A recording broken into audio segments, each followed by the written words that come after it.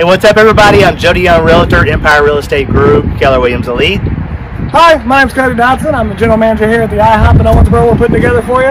So, IHOP has a little secret. You guys are opening really soon. So, we're opening up Sunday the 29th, um, What time? 6 a.m. Sorry. 6 a.m. And you got a little giveaway going? We do. We got a great prize for you. The first 50 people to show up at our doorstep and be the ones sit down, we're going to give free pancakes for a year every week. Free pancakes? Free pancakes. You might see me in line, guys. and that's any pancakes. We're talking chocolate chip, all of it. So, So, you guys are new. You just built the building. You're out here off of Highway 54. We got Drake's on one side and Academy across the street. I wish you guys a bunch of luck in your grand opening. well, I appreciate it, man. Thank you. Thank you.